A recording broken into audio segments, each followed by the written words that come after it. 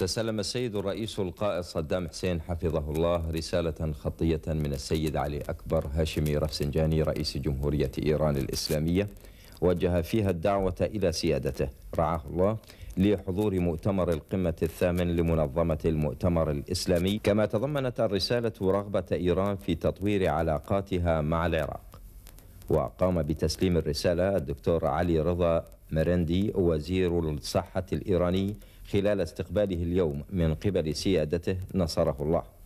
ونقل الدكتور ميراندي تحيات السيد هاشمي رفسنجاني رئيس جمهورية إيران الإسلامية إلى السيد الرئيس القائد حفظه الله ورعاه وتمنياته لسيادته بالتوفيق ودوام الصحة.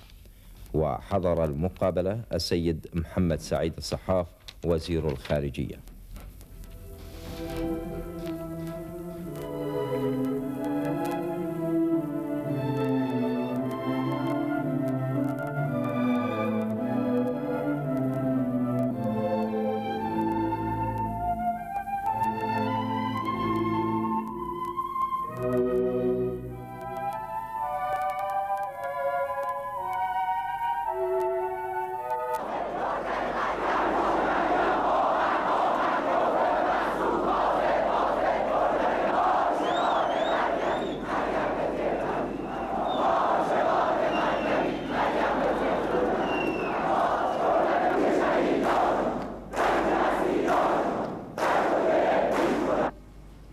مقاومت مشروع و مقدس که در آزمایش سیاسی پرده از چهره خمینی دجال برداشت.